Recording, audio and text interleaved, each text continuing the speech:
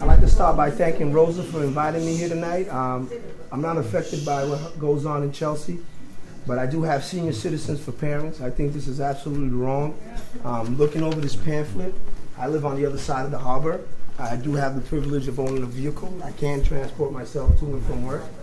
Looking at this and knowing one day that I'm going to be a senior and looking at it to see a 175% increase on someone that doesn't have enough change to get a can of soup to eat dinner some nights, doesn't have enough money to put gas in their stove to cook or oil in their tank to heat themselves, that they have to take the last bit of change and increase their pockets so they can get on the bus to go get that can of soup that they might not be able to afford because the bus hikes have gone up, and also to turn around and watch adults percentage go up. 20% who can make a decision between taking the bus or buying a cup of coffee.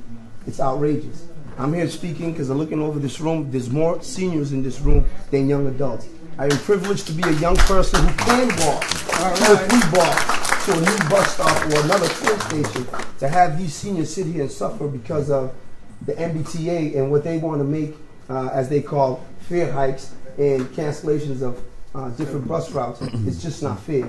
A lot of you executives sit here with your suits and ties who are probably costing you two, three hundred bucks per suit it's not fair to have these jobs that you guys have the luxury to take the T to the job. Do you pay for your bus ticket? Yes, or is it given to you from your job? Or does it come off of some agreement between you and your local where you're giving a dis- discount at a rate that we don't have?